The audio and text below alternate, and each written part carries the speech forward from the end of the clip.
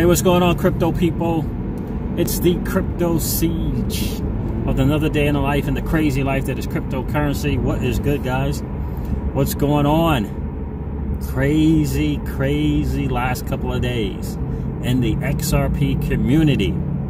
Huh? That's been crazy, right? Very, very interesting thing. And so it's interesting. My last video that I did, I think I just uploaded it today, even though I did it like a couple days ago, if not long, if not three days ago.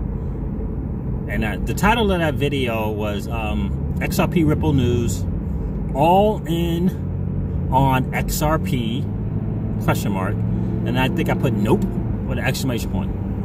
Right, and the video was really uh, about uh, a couple YouTubers, uh, one in particular, uh, great guy in the XRP community, and I was and I was I was commenting on the video, and it was all kind of a combination of Crypto Bears video and um, an email that he uh, got from some uh, Bearable Guy Dakota dude, right? Don't know. I don't know who this dude is. Right. So he got this video, and so Crypto Bear was excited, pumped, and put out this video about, in essence, about you know how important it was to diversify and so I did a video on that because Alex Cobb did a video in response to that. And Alex Cobb's video was essentially saying, I don't see any value in any other cryptocurrency other than XRP.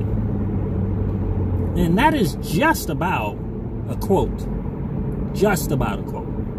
And again, I'll say it again. Alex Cobb, I like him. Smart, young mind absolutely invaluable to the XRP community. But what I said in the video that I did, my last video, that I just quoted the title, XRP Ripple News, all in on XRP question mark no. What I said in that video was that you have to be careful as a YouTuber. You have to be careful to to to the I don't know if it's give a tone. I don't know if it's you have to accept responsibility and understand the fact that you as a content creator have a measure of influence whether you like it or not. And so it doesn't matter how many times you say do your own homework i'm not telling you what to do do your own due diligence. I'm not a financial planner. Doesn't matter that you say that. As a content creator, you have a measure of influence. That's why they have this thing called influencer marketing. And the YouTube channel is a marketing channel. Period. Right? And so I was getting from that video from Alex Cobb that the idea of diversifying into some other cryptos was not worthy of your consideration or there was just simply nothing of value in the asset space to diversify in. In his opinion. In his opinion. In his opinion. But it felt like to me that there was a tone of man, why would you get anything else if you got XRP? And I'm just here. I'm just here to say that that is, in my opinion, unequivocally not smart, not wrong, but not smart. Number one, in my humble opinion, it sets up bad habits because investing in finances is right there's there's a discipline to it. And if you're in a habit of trying to find the best one and then going all in on that one in the financial space that's a problem. Like that's a problem. That's like warren buffett saying you know what? I'm gonna hold on to coca-cola and i'm gonna live and die in coca-cola that's what that is like saying I'm gonna go all in on uh, Apple, and I'm and, and, I'm going all on it. I'm picking that. I'm going with it. Live or die, baby. do, do or die with freaking Ama- with uh, Apple or Amazon. Warren Buffett doesn't do that. And we we gotta, you know, I think I just think some people, and I'm going to talk about CKJ crypto news as well, and and kind of all the heat that that dude got unnecessarily. And I'm going to tell you my belief and my my reasons for why that happened. But here's the thing, you know, I was listening to some really really smart guys in finance, right? So, um, uh, I think his name is Mark Yusuf or Yusnof, uh, the Mark Morgan Creek uh, uh, asset guy, the CEO and the CIO. I forget his name, the older guy, smart. Anthony Popul- Anthony uh, that that company, right? And I'm listening to him, and I'm you know I'm listening, and I'm just thinking, you know what? That's genius in motion between those two, right there. But anyway, so I'm listening to some guys who are smart in finances and money right? Not a YouTuber, right? So I'm, I'm listening to these guys, and you know, they got a lot of money. They're very, very smart. Why aren't they all in on just one uh, digital asset? Right? I mean, in my opinion, they're smarter than the YouTuber when it comes to making money. Right? Why why aren't they all in on one asset, on one digital asset? Why isn't Novogratz, who is pretending that he's not an XRP fan, why isn't he why isn't he all in on one asset? And he made we all know he kind of made all his money from Bitcoin and I think especially Ethereum. Why isn't he all in on just Ethereum, do or die to the end? Why isn't he? What about Pantera? Why aren't they? What about Digital Currency Group? Why aren't they all in on one digital asset? Because they know how to make money. Because they understand this isn't this is not about your beloved wife, girlfriend, significant other, backing them to the end. You got their back no matter what happens. This is about making money plain and simple. This is about making money. Period. Technology is going to take care of itself. It's going to evolve. It's going to change. It's going to get better. That's what it does. This, for you and I, as a retail investor, is about making money. And so, you know, I've said this in one of my videos before. This is the reason why I have a cha- I have a you know a small challenge with this whole community thing and people becoming tribal and defensive and argumentative, argumentative because of this exact thing that happened to CKJ and crypto news. That's why this this in this in-house bickering is going on in the XRP community. That's, that's the reason why. That's the reason why. Look, here's the thing there's always going to be a, a AT&T and a Verizon and a freaking whoever else is out there. There's always going to be a Netflix and uh, whoever else is in competition with them. I don't know if it's even Amazon Prime Video. Maybe Amazon is in competition with everybody. They're out of control, right? There's always going to be an AT&T, a Verizon, and a T-Mobile. Everyone forgets that there were there were you know I don't know 200 AT and T's before there was an AT and T if you know what I'm saying. There were there were thousands of dot you know www.iwannabeinbusiness.com thousands before there was Amazon and Apple and Microsoft, right? You understand what I'm saying? A lot of those came and went. They're came, they're here today and gone tomorrow. But tons, smart money, let's put it to you that way. Smart money made money while those companies were here.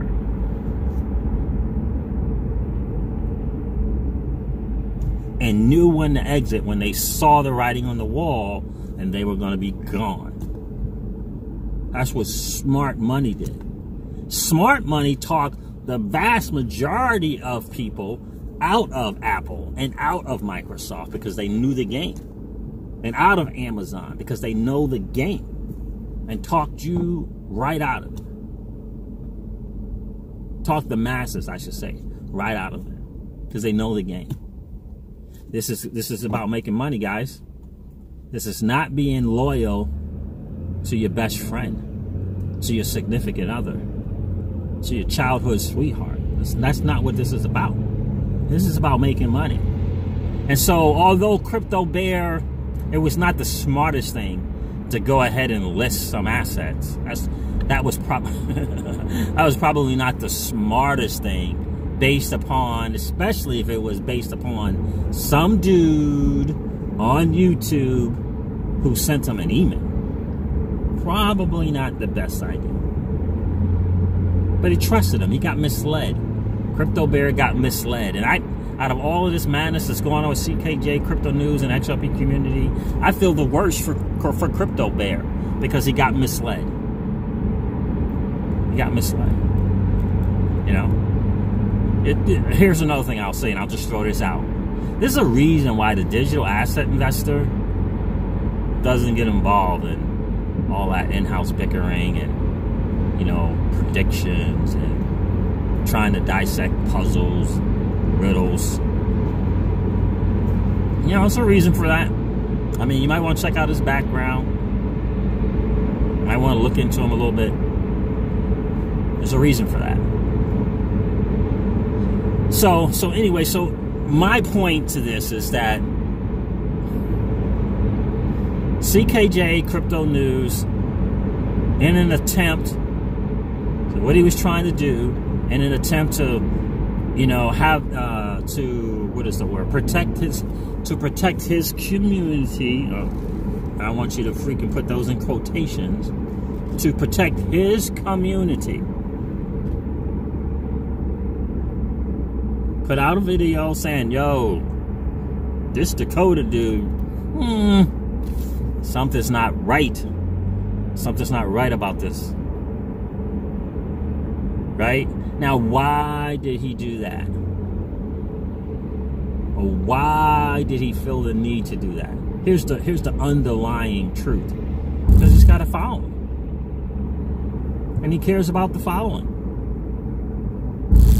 That's why. Because he has a following and he cares about that following. That's the that's the challenge with being an influencer marketer. Now, whether he likes it, I like it, Digital Asset Investor likes it, Sam I Am to the Lifeboats dude likes it, DM Logic, who probably gets it more so than most of them. You have a measure of influence on your community. So, when they hear something that they don't like, what do you think's gonna happen? It's community. Care about each other. Gonna, gonna get in your feelings a little bit, as we like to say. Gonna get in your feelings a little bit. And that's exactly what happened to people in his community. Turned on him. It's not because they're all in on XRP. It's not because, uh, well, it's not because they, um, what is it, invested more than they can afford to lose. That's not it. Because they're all in on XRP. That's why.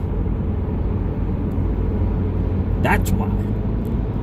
Because they're all in on one digital asset and their hopes, dreams, all are all tied to one digital asset. And that's a mistake It doesn't matter if they end up being right.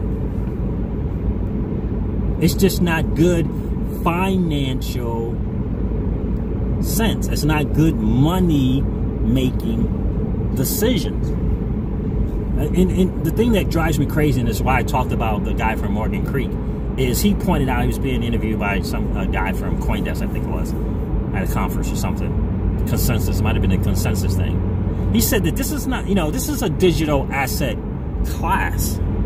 Not, it's not a digital asset. It's a digital asset class. And he said institutions are not worried about things and about price. They have a different mindset. They have a different mentality. And he is not sitting down with the dude ready to put in 50, 100 million dollars and say, you know what, I, you know, I think you need to take 99.99% of your money and put it in Bitcoin. Or or 99.99% of that 1, 2, 3, 4% of your portfolio in Bitcoin. He's not telling them to do that either. He's saying, here's this thing Bitcoin, here's this thing XRP, here's this thing Ethereum, here's this thing EOS, here's this thing Cardano, here's this thing Stellar, and making intelligent arguments for why they want to diversify a little bit, or why they chose those, you know, eight, nine, ten different digital assets. Stellar has this use case, XRP has this use case, EOS is building this amazing thing, Bitcoin has store value. You see what I'm saying? Not one there, there is no smart money that's not going all in on one thing, one digital asset. Why? Because it's not smart. It's just not smart to do, guys. It's not about being right. It's not about XRP being the greatest digital asset ever created. It's not about that. It's about making money and it's about making sound financial decisions. So of course you're supposed to diversify. It's a digital asset class. It's not a digital. It's not a digital asset. You you you don't know what's going to happen. First of all, you may know every single thing or believe you know every single thing about XRP and where it's going. But you don't know every single thing and where Bitcoin is going. You don't know every single thing and where Litecoin is going. Right? Like, you don't even know the sleeper that's out there. Quark Chain, Holo, V Chain. You don't know the sleeper that's out there. You don't know. How do you know? You don't know. And even if you're right with XRP, wouldn't you still want to have a diversified portfolio of digital assets? Because you don't know. It might take XRP. Let's put it this way. You could spend less money on other digital assets and have bigger returns. So let me ask you something. How is that wrong? Like, how is that wrong? You could make, depending upon how much money you put in XRP, in the first two, let's say the, let's say within the first two years of this boom, this bull run, you can put less money in some other digital assets and make more money than you do on XRP. How is that wrong?